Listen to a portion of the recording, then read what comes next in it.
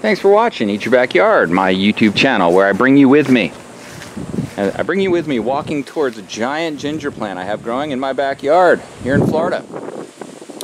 I grew this from a cutting, roughly eh, I'm going to estimate based on my kid's age and when I got the cutting, I would say roughly 18 years ago. And uh, it's come into fruition for sure. You can see by these beautiful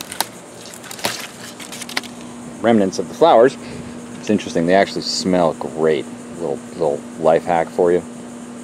The ginger flower stems are amazing. Like you bring these in and you put them in like a potpourri thing or whatever. Oh yeah, that's the good stuff. Free advice. Uh, yeah, they have these beautiful flowers. I've highlighted them in some of my videos. You know, mine kind of takes a beating. It's got salt water sprayed on its leaves relentlessly, and that's why you see this burnage. But you know, you don't see the burnage on the new stuff, and it actually looks pretty cool, so why not? You have to kind of focus on that. I kind of focus on, that is so cool. Now, how do you transplant it? Well, you dig up some of the roots. You know, you've seen ginger in the store maybe, the grocery store. By the way, you could just get a root from the grocery store and plant that. Or you could get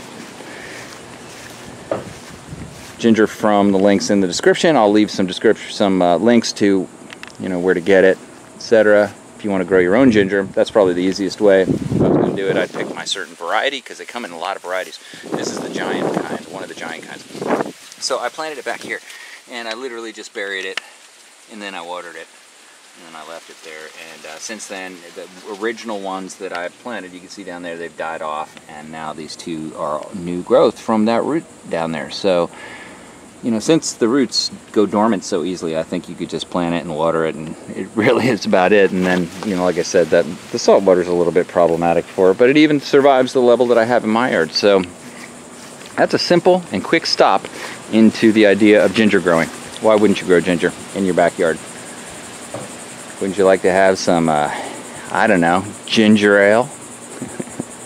Thanks for watching Eat Your Backyard. Go ahead and subscribe. Click the notification bell. That way you'll be notified every time I give you a new video. Thank you.